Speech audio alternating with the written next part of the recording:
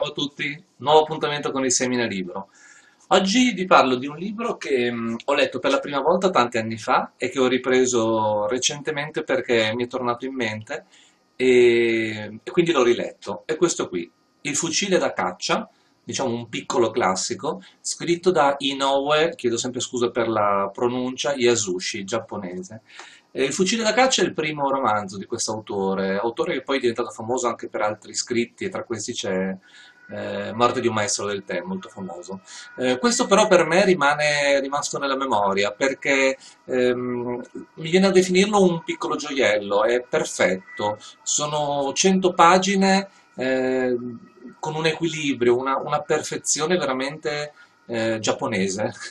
Eh, la trama, la, l'io narrante del, del romanzo eh, è un poeta che un giorno deve scrivere una poesia, uno scritto per una, una rivista eh, che tratta di caccia, cosa per lui assolutamente estranea.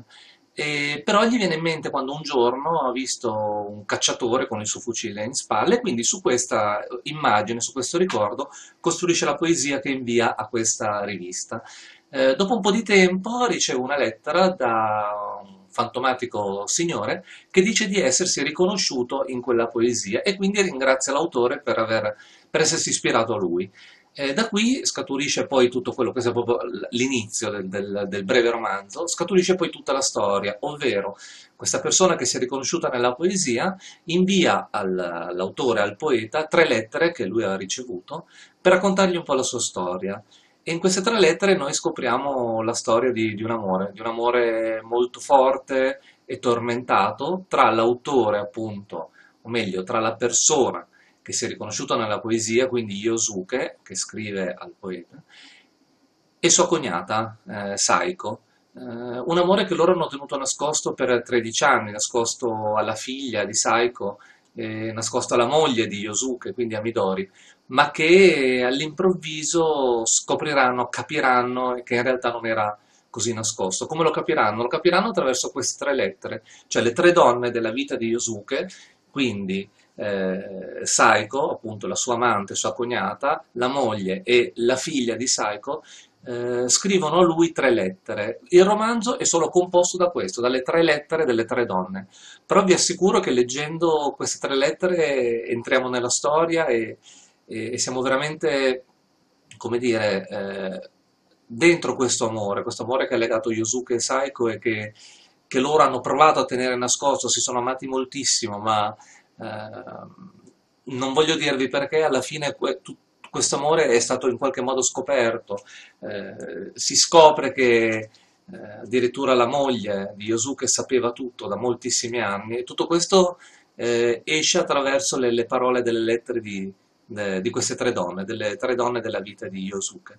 Ehm, non voglio veramente dilungarmi, non voglio raccontarvi troppo perché ve l'ho detto, questo è veramente un libro al quale ci si affeziona, è un libro che io ho riletto con veramente tanto tanto piacere.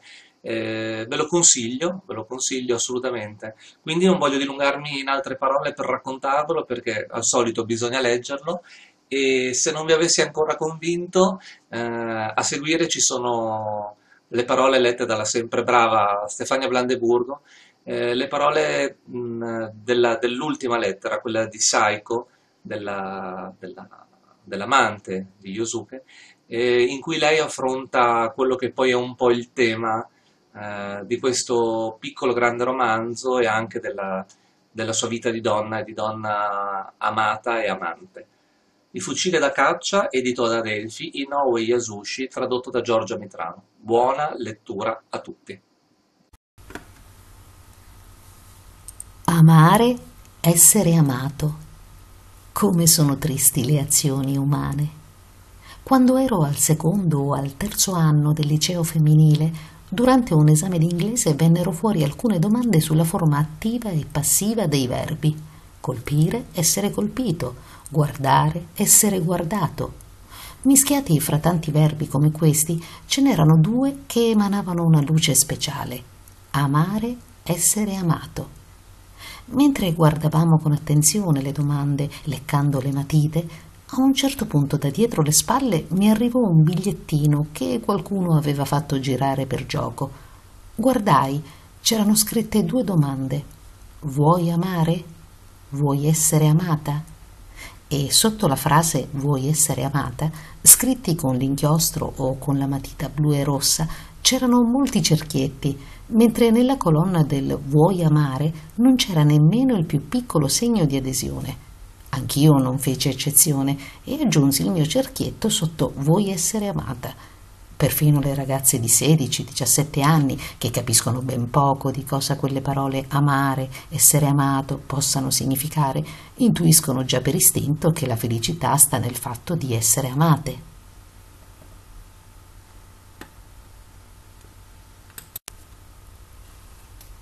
Solo la ragazza seduta accanto a me, quando le passai il biglietto, vi diede una rapida occhiata e subito, a colpo sicuro, con un deciso tratto di matita, tracciò un grande cerchio nella colonna bianca, ignorata da tutte le altre. Lei voleva amare.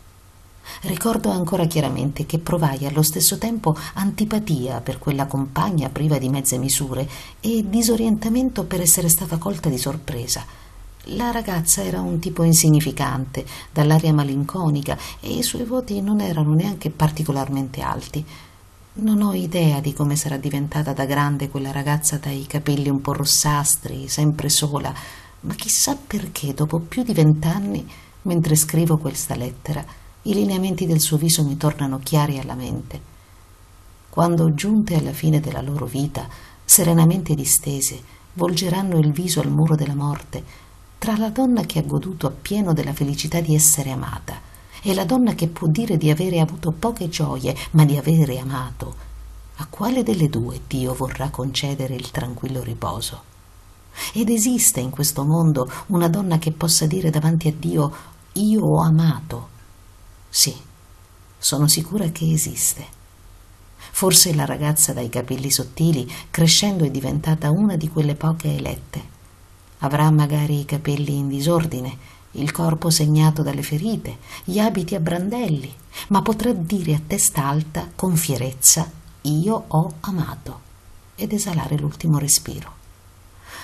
Ah, basta, vorrei fuggire. Ma per quanto tenti di scacciarlo via, il viso di quella ragazza mi perseguita e non riesco in nessun modo a liberarmene. Perché quest'ansia insostenibile? A poche ore dalla mia morte. La punizione naturalmente riservata a una donna che non ha sopportato la sofferenza di amare e ha cercato la felicità di essere amata sta finalmente arrivando.